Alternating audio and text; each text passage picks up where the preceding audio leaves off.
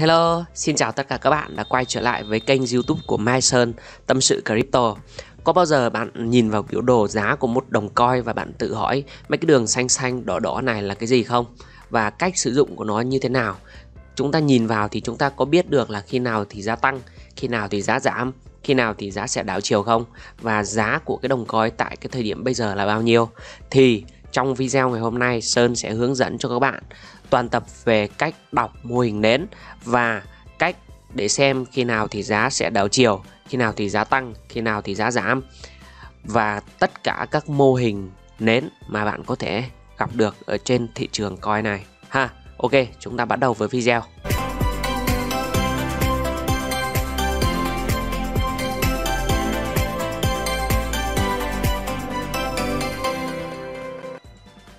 Thì candlestick hay còn gọi là nến Nhật là cái mô hình mà do người Nhật phát minh ra, ha. Thì biểu đồ nến là một cách rất là hiệu quả để chúng ta có thể hình dung về cái biến động giá và có hai loại nến cơ bản chính, đó là nến tăng và nến giảm.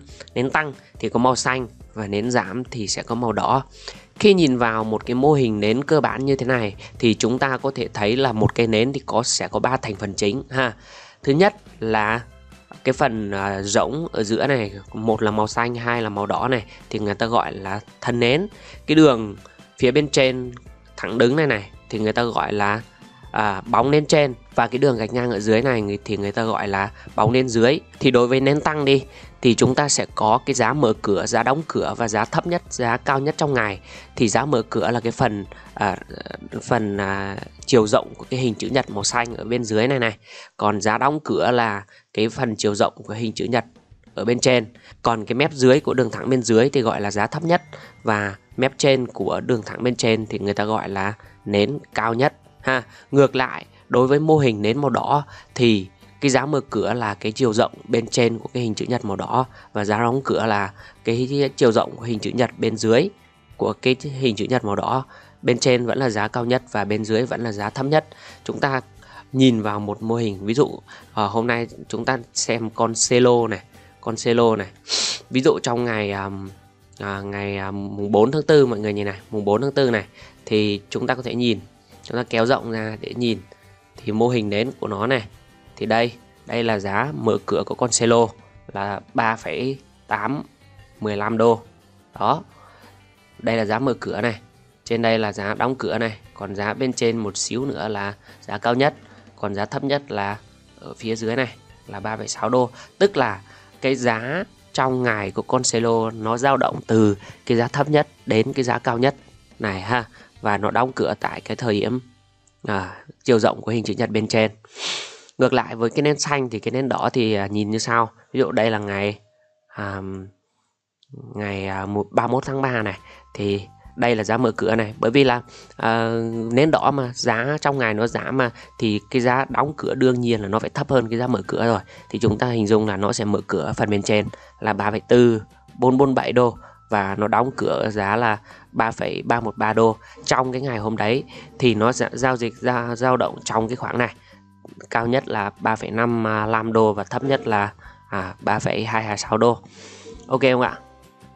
Rất là đơn giản, dễ hiểu thôi đúng không nào?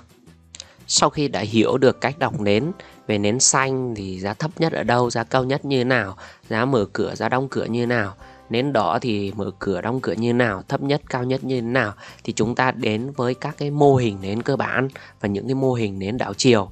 Thì chúng ta đến với mô hình nến đầu tiên là mô hình à, nhấn chìm suy giảm ha. Mô hình nhấn chìm suy giảm thì là một mẫu hình đảo chiều giảm giá thì thường xảy ra ở phía trên của xu hướng tăng. Mô hình thì gồm à, hai cây nến này một cây nến tăng nhỏ và một cây nến giảm lớn hơn vào ngày hai ngày thứ hai. Thì chúng ta có thể nhìn này nến tăng này. Đó thì nó nhỏ như này còn nến giảm thì nó bao trọn hết lại cái cây nến xanh này. Thì những cái ngày tiếp theo ấy thì giá à, sẽ có xu hướng là đi xuống ha. Thì à, Sơn lấy ví dụ về cái con Celo này đi thì à, ví dụ ở cái cái điểm này đi thì à, đang có một cây nến xanh đúng không nào? Đang xu hướng tăng đi lên đang xu hướng tăng rất là đẹp này. Chúng ta gặp một cây nến đỏ ở đây. Cây nến đỏ ở đây và nó bao trọn hết là cái cây nến xanh. Thì những cái ngày tiếp theo thì sẽ có xu hướng là giá nó sẽ đi xuống ha.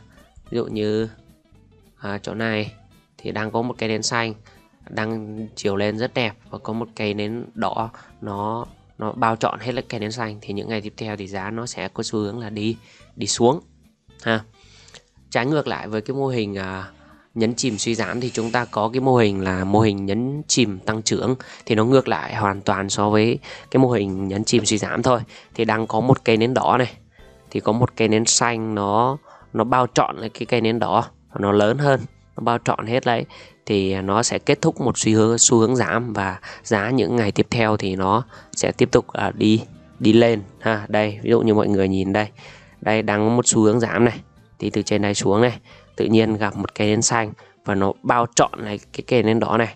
Thì những cái ngày tiếp theo thì giá nó có sẽ có xu hướng là đi đi lên. Ok không nào?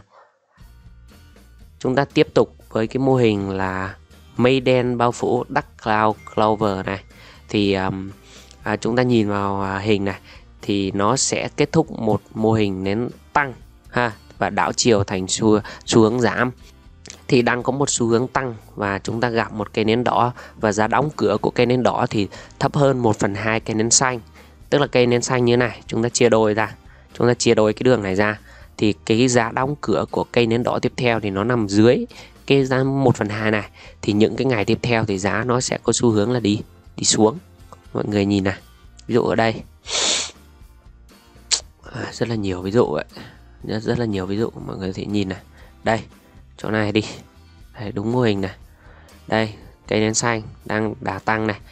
Kết thúc của cây nến đỏ này thì thấp hơn 1 phần 2 so với so với cây nến xanh này. Thì giá những ngày tiếp theo thì sẽ có xu hướng là đi đi xuống ha. Chúng ta đến với cái mô hình là doji. Mô hình doji thì uh, thường nó có hình là hình dấu cộng và nó có thể kết thúc cả xu hướng tăng và xu hướng giảm. Thì chúng ta đang có xu hướng tăng mà gặp doji thì nó sẽ đảo chiều thành xu hướng giảm. Và giá đang xu hướng giảm mà gặp doji thì những ngày tiếp theo thì giá sẽ có xu hướng là là tăng. Nên doji là cái nến mà giá đóng cửa với giá mở cửa thì nó uh, gần như là tại một điểm và nó có trông giống hình dấu cộng như thế này. Đấy thì gọi là nến doji ok chúng ta đến với mô hình tiếp theo. Đó là mô hình uh, doji chuồn chuồn. Doji chuồn chuồn thì uh, nó cũng là doji nhưng mà giá uh, nó không phải là hình dấu cộng mà nó cái giá mở cửa và đóng cửa thì nó là cái giá cao nhất luôn. Thì uh, đây là cái mẫu hình đảo chiều tăng giá à, rất là quan trọng trong kỹ thuật sử dụng đồ thị nến. Nó thường xảy ra tại đáy của một xu hướng giảm giá tức là đang có xu hướng giảm. Chúng ta gặp con doji chuồn chuồn thì những ngày tiếp theo thì giá nó sẽ tăng. Sơn sẽ đi nhanh những cái phần này nhá. Mọi người có thể vào đây để đọc và tự mình kiểm chứng những cái này. Cái này mọi người nên à, học thuộc lòng. Để nếu khi mà chúng ta gặp các cái mô hình này thì à, thì chúng ta sẽ biết là là khi nào thì giá sẽ đảo chiều ha. Thì à, mô hình tiếp theo là mô hình sau hôm. Ừ, mô hình sau hôm là mẫu nến đảo chiều giảm giá. Nó thường xảy ra tại một đỉnh của xu hướng tăng. Mẫu hình này gồm mà có 3 cây. Tức là đang xu hướng tăng này gặp à, gặp một cây nến đỏ nhỏ này sau đấy gặp một cây nến đỏ lớn này. Đấy thì gọi là mô hình sao hôm.